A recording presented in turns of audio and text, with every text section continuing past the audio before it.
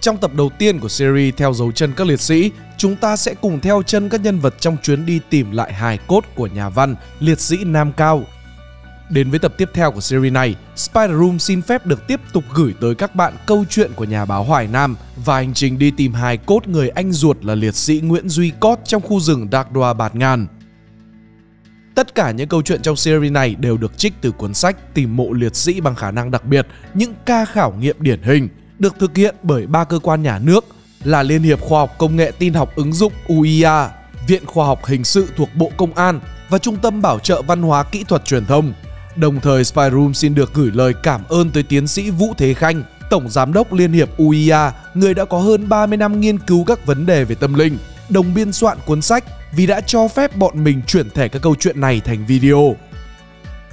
Bây giờ, hãy cùng đến với câu chuyện qua lời kể của chính những người trong cuộc, nhà báo Hoài Nam.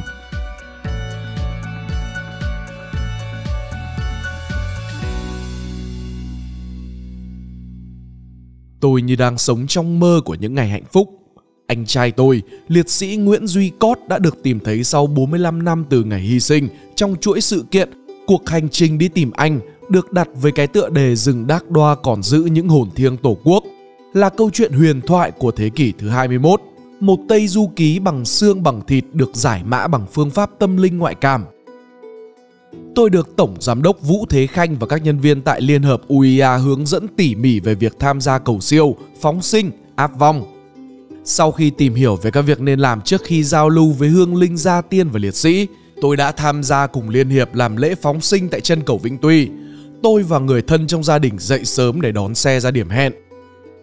Hàng trăm thân nhân của các gia đình liệt sĩ ở khắp mọi miền Tổ quốc cũng có mặt ở đây từ sớm.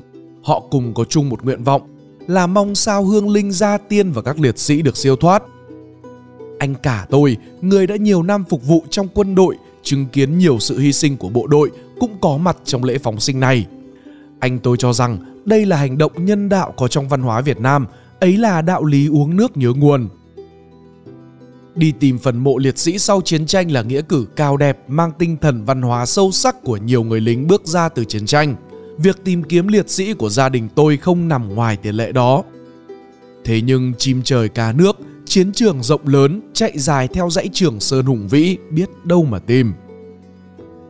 Hai từ KB trong giấy báo tử mà tôi tìm hiểu được đồng nghĩa với địa danh các tỉnh của miền Đông Nam Bộ như là Bình Phước, Tây Ninh, Bình Dương, Đồng Nai. Mỗi chuyến phải đi mất cả tháng trời, nhiều lúc nhỡ đường phải ăn mì tôm, bánh ép, lương khô thay cơm, cũng có khi phải nhịn đói vì nhỡ đoạn đường. Chỉ có lòng nhiệt huyết là chưa đủ mà cần phải có sự kiên trì và trái tim nhân hậu. Tây Nguyên là chiến trường B3 của những năm chiến tranh, Măng Giang, Con Đong, Đắc Đoa là những địa danh khi anh cả tôi trở về kể lại với ba tôi về những chuyến đi chưa hiệu quả. Những lúc như vậy, ba tôi lại càng trầm ngâm hơn. Cứ chiều chiều ông lại ngồi đưa mắt nhìn về phía dãy Trường Sơn, nơi đó có con đường mà ngày xưa đứa con trai đã hành quân ra trận. Trong cuộc chiến tranh này, còn biết bao nhiêu ông bố bà mẹ vẫn còn mong ngóng nắm xương, cái tài sản vô giá của con mình trong vô vọng như ba mẹ tôi nữa. Gia đình tôi chỉ có một mục đích duy nhất là mong tìm được anh cót về, dù chỉ là nắm xương thôi. Nếu tìm được liệt sĩ, ít nhất chúng tôi cũng sẽ làm tốt công tác tư tưởng cho người còn sống. Hơn nữa, việc này còn có giá trị giáo dục truyền thống cách mạng dám xả thân vì nước cho con cháu trong nhà. Để dẫn đến thành công tìm được liệt sĩ Nguyễn Duy Cót như tôi đã kể ở trên, nhà ngoại cảm Nguyễn Văn Lư, sau đây tôi gọi là thầy, là cầu nối vô cùng quan trọng giữa gia đình tôi và liệt sĩ. Có mặt trong buổi giao lưu đủ mặt 6 anh em ruột của liệt sĩ, chúng tôi may mắn được giao lưu với liệt sĩ thông qua thầy Lư. Trong lúc tôi ngồi đối diện với thầy Lư, thầy cho biết liệt sĩ đang đứng ở bên tôi. Mới nghe đã nổi cả da gà, nhưng tôi vốn là người nổi tiếng lì lợm nên vẫn giữ được sự bình tĩnh. Qua miêu tả của thầy Lư về hình dáng, đặc điểm của liệt sĩ thì chỉ có người thân trong gia đình như tôi mới có thể kiểm chứng được thông tin đó. Mặt anh tôi không đẹp, có mấy vết rỗ, anh đang mang súng.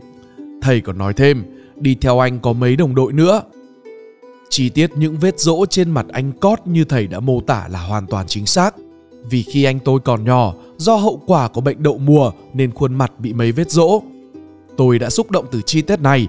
Đây là chi tiết vô cùng quan trọng và hoàn toàn chính xác làm căn cứ để tôi củng cố niềm tin. Điều đáng chú ý nhất là nhà ngoại cảm Nguyễn Văn Lư đã nhìn thấy và chỉ cho gia đình tôi tìm đến với tài liệu vô cùng quý giá.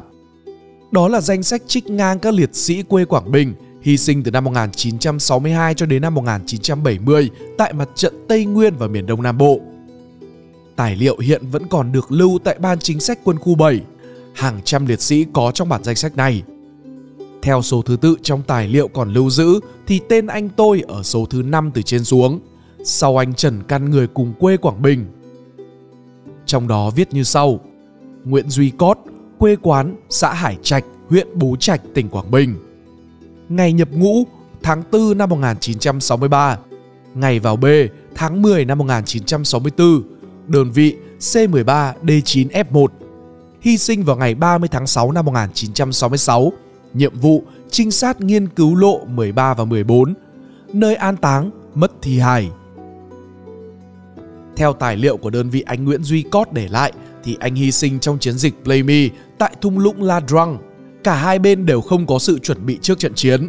Sự bất ngờ đã tạo ra thương vong quá lớn.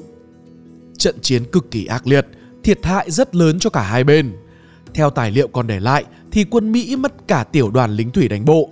Không lấy được xác quân nhân Mỹ, lính Mỹ đã cho B-52 hủy diệt trận địa La Drang. Do tương quan lực lượng chênh lệch, bộ đội Việt Nam phải rút dần về chân núi Chư Prong. Cuộc chiến vẫn diễn biến ác liệt, nhiều mũi chiến đấu của cả hai bên đều hết đạn, phải dùng đến lưỡi lê để đánh giáp lá cà. Khi quân địch tập trung tiêu diệt hỏa lực, anh bị trúng đạn vào ngực. Đồng đội cứu chữa nhưng do vết thương quá nặng nên đã hy sinh ngay trên chiến trường tại núi Chư Prong.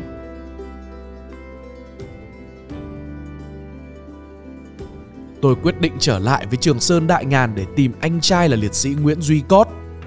Tôi được hướng dẫn việc tìm mộ liệt sĩ phải xuất phát từ tinh thần trách nhiệm và sự kính trọng.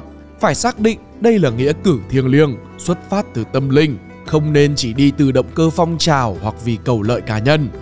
Trong quá trình tìm kiếm phải rất tiết kiệm, giản dị, tránh ăn uống lãng phí và tránh ở khách sạn sang trọng. Bởi làm trái hướng dẫn trên thì công việc tìm kiếm liệt sĩ sẽ trở nên khó khăn tôi đã trực tiếp lên kế hoạch chuyến đi một cách tỉ mỉ bởi chỉ cần những sai sót nhỏ sẽ dẫn đến hậu quả khôn lường. Từ chọn phương tiện đến thành phần tham gia, việc mua sắm lễ cũng cần phải cân nhắc.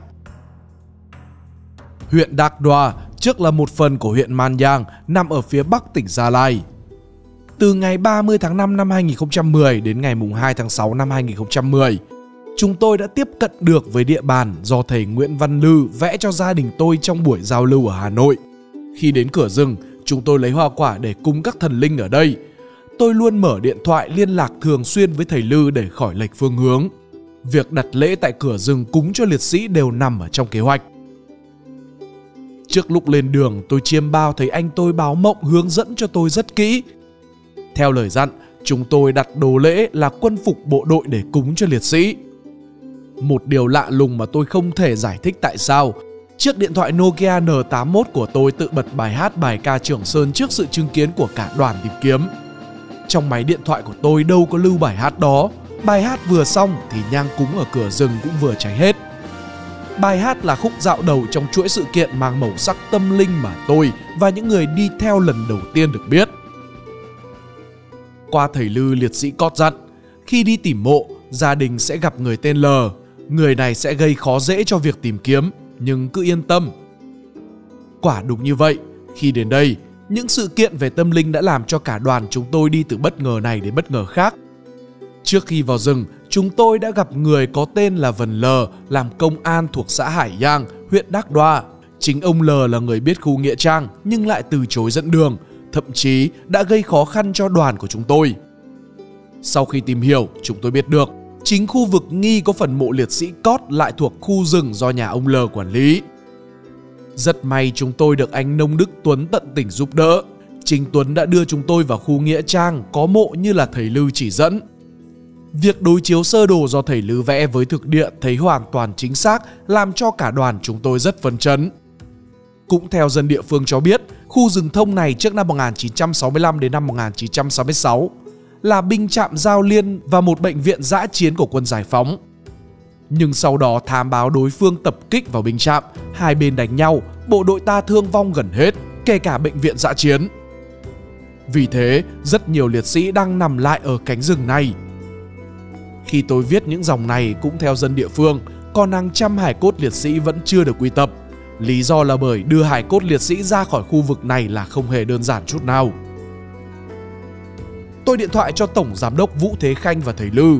Không biết từ xa các anh có thể thổi phép và Tây Nguyên hỗ trợ cho chúng tôi không? Mà Vong lại tự lên và nhập vào người nhà để nói chuyện một cách dễ dàng. Từ cửa rừng vào đây là cả km. Khi đi qua rừng thông có nhiều cây cổ thụ, gốc cây lớn mà thầy Lư chỉ cho chúng tôi lúc ở Hà Nội chính là một cái cơ nia. Từ Hà Nội xa xôi, thầy Lư điện thoại cho tôi, chỉ rõ vị trí mộ, đối chiếu với bản vẽ thì hợp lý. Riêng con đường đi qua bên mộ đã có thay đổi. Nhưng anh Tuấn nói, ngày trước có con đường đi qua bên kia mộ là chính xác. Mấy chục năm rồi chứ đâu có ít. Từ bóng cây cơ nia đến vị trí mộ là khoảng gần 3 mét. Chúng tôi ai cũng rất phấn khởi và hồi hộp. Dưới bóng cây cơ nia tán lá tỏa rộng, chúng tôi dọn lễ cúng liệt sĩ. Tôi mở sách ra để đọc, chứ tôi đâu biết cúng. Bài cúng liệt sĩ được Tổng Giám đốc Vũ Thế Khanh gửi tặng tôi trước lúc vào Tây Nguyên. Một điều làm tôi thấy được là khi giao tiếp với vong, hồn liệt sĩ đều muốn nhắn gửi đến người nhà những thông tin mà chỉ có người trong cuộc mới hiểu, mới nhận ra đó là vong của nhà mình, không thể lẫn vào đâu được. Nhập hồn, ốp vong, nói chuyện với liệt sĩ là anh mình. Chúng tôi không cầm được nước mắt vì xúc động. Theo người chị và anh ruột của tôi đi cùng đoàn xác định, giọng nói chính là giọng âm của liệt sĩ Nguyễn Duy Cót, bởi khi vong lên nhập vào đứa cháu rể gọi tôi bằng bác quê Thanh Hóa lại nói giọng Quảng Bình. Điều kiện tiên quyết để tìm thấy mộ là phải có một người thân cùng huyết thống. Tôi là em ruột của liệt sĩ, việc tìm mộ đã khó nhưng tìm thân nhân cho liệt sĩ còn khó hơn nhiều. Trong chuyến đi này có sự phát sinh khi vong liệt sĩ Nguyễn Duy Cót lên nhập vào người nhà tôi thì có vong hai người bạn của anh Cót cũng lên. Nhưng không nhập được vào ai cả. Thông qua anh Cót, hai người bạn nhờ tìm người nhà. Đây là những thông tin của người đã khuất chỉ dẫn đi tìm người sống. Tôi thực sự lúng túng với tình huống này. Tôi định điện thoại hỏi thầy Lư, nhưng điện thoại nhiễu sóng không thể liên lạc được. Trên đường đi tìm liệt sĩ Nguyễn Duy Cót và đồng đội tại xã Hải Giang, huyện Đắc Đoa, tỉnh Gia Lai. Được sự giúp đỡ của thầy Nguyễn Văn Lư, chúng tôi đã phát hiện thêm rất nhiều liệt sĩ, trong đó có liệt sĩ quê ở Nghệ An. Tại mộ của liệt sĩ Cót có thêm hai liệt sĩ chôn chung. Sau khi phát hiện liệt sĩ áp vào vong của người nhà liệt sĩ Nguyễn Duy Cót, thì vong hồn của bạn anh Cót cho biết tên của hai người đó là liệt sĩ Trần Văn Hữu sinh năm 1946 và liệt sĩ Nguyễn Hoàng Lê sinh năm 1945. Theo vong cho biết, cả hai liệt sĩ này là người cùng làng ở xã Nam Đàn, Nghệ An. Sau khi xác định tọa độ mộ của ba liệt sĩ, chúng tôi tiến hành làm các thủ tục khai quật trước sự chứng kiến của nhân dân và chính quyền địa phương để kiểm chứng thông tin. Thật tuyệt vời, tất cả đều chính xác, từ tên trên bia mộ và vị trí thi hài các liệt sĩ đến độ sâu chôn cất.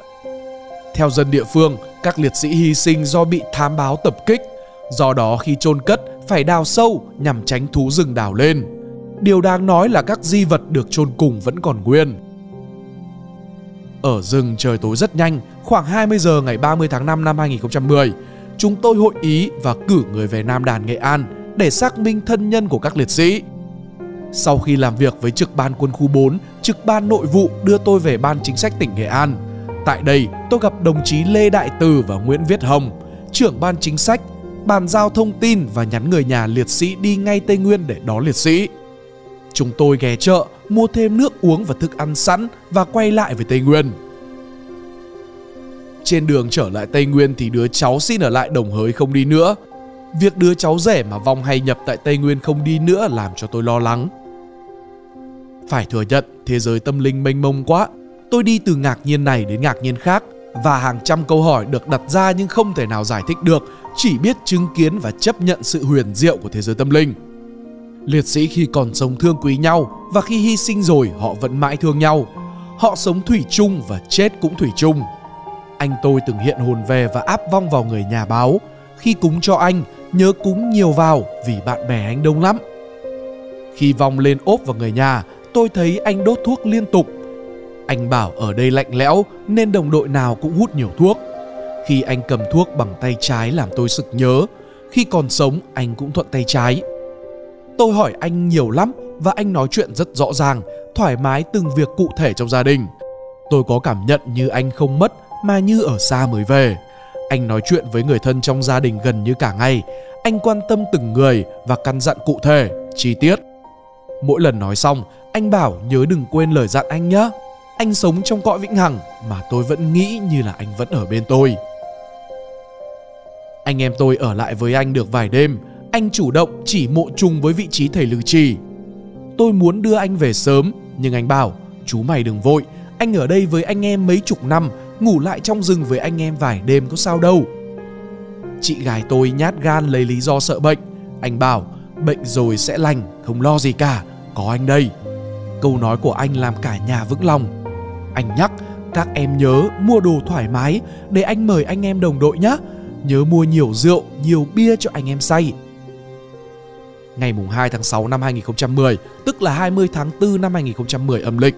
Sau khi hoàn tất thủ tục với địa phương, với cơ quan quân sự tỉnh Gia Lai và huyện đội Đắc Đoa, tự nhiên tôi có cú điện thoại lạ từ đồng hới.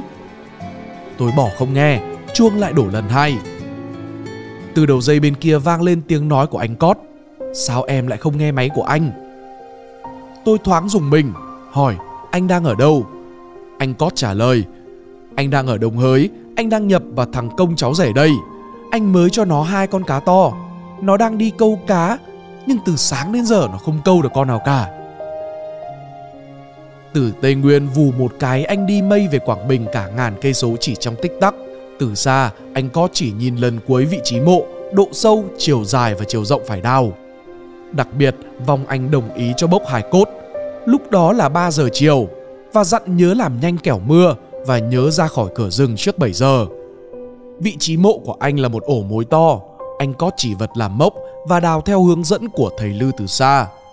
Thầy chỉ rất rõ vị trí đầu, chân và khoảng cách để khỏi nhầm lẫn. Khi đào được gần một mét thì thấy một vết đất đen như là hình người lộ ra từ hướng đào. Thầy Lư điện thoại vào, điều chỉnh vị trí hộp sọ với cả độ chính xác cao. Thông tin từ xa mà tôi cảm nhận như là thầy đang ở bên cạnh. Miếng xương ngực hất nhầm lên trên cũng được thầy Lư nhắc tỉ mỉ và chính xác. Trước khi thăng khỏi người cháu rể, anh Cót còn dặn tôi khi làm xong nhớ hú hồn cho anh. Khi nhặt xong những mảnh xương cuối cùng cho anh thì trời bắt đầu đổ mưa, gió núi lại nổi lên. Bà con xã Hải Giang huyện Đắc Đoa có mặt ở đây mấy hôm nay đông lắm, giờ tiễn biệt ai cũng bùi ngùi. Chúng tôi thắp tiếp những nén hương cho đồng đội của anh, những hương hồn liệt sĩ chưa được về dịp này. Đến cửa rừng thì xe của chúng tôi dừng lại, hồn của anh một lần nữa nhập lên cho biết. Bộ đội ra tiễn anh đông lắm, các em xuống xe vái chào tạm biệt họ đi. Chúng tôi đốt nhang ngay cửa rừng đỏ rực cả một vùng. Cuộc hành trình đi tìm liệt sĩ Nguyễn Duy Cót suốt 35 năm không hề biết mệt mỏi, cuối cùng cũng được viên mãn trong điểm xúc động của gia đình, dòng họ và quê hương. Câu chuyện cuộc hành trình đi tìm anh trai liệt sĩ có sức lan tỏa mạnh mẽ như tiếp thêm sức mạnh cho những gia đình đã hoặc là chưa tìm được phần mộ liệt sĩ nguồn động viên lớn lao. Nhất là thế hệ như anh của tôi một thời chống Mỹ quyết ra trận cứu nước cứu nhà, những lá đơn tình nguyện để được sống trong đội ngũ của những người cầm súng ra trận. Có người đã phải viết bằng máu của mình. Xương thịt của liệt sĩ đã tan vào đất mẹ Việt Nam để cho đất nước hôm nay được nở hoa độc lập, kết trái tự do. Và đó là toàn bộ câu chuyện về hành trình đi tìm lại hài cốt người anh ruột của nhà báo Hoài Nam. Câu chuyện đã có kết thúc viên mãn khi sau 35 năm ở lại trong lòng đất mẹ lạnh lẽo giữa rừng Đạc Đoa Bạt Ngàn, liệt sĩ đã có thể trở về quê nhà. Trong tập tiếp theo của series, chúng ta sẽ cùng tìm đến với một câu chuyện ly kỳ và hấp dẫn, đó là hành trình tìm mộ liệt sĩ Bùi Văn Thịnh tại Đại học Bách khoa Hà Nội. Cụ thể hành trình ấy ra sao, hãy đón xem trong tập 3. Còn đến đây, tập 2 xin được kết thúc. Nếu các bạn yêu thích và quan tâm đến những chuyện tương tự, hãy theo dõi series theo dấu chân các liệt sĩ qua kênh YouTube Spider Room nhé. Cảm ơn các bạn đã lắng nghe. Đây là Spider Room, còn mình là Pink Dot. See ya!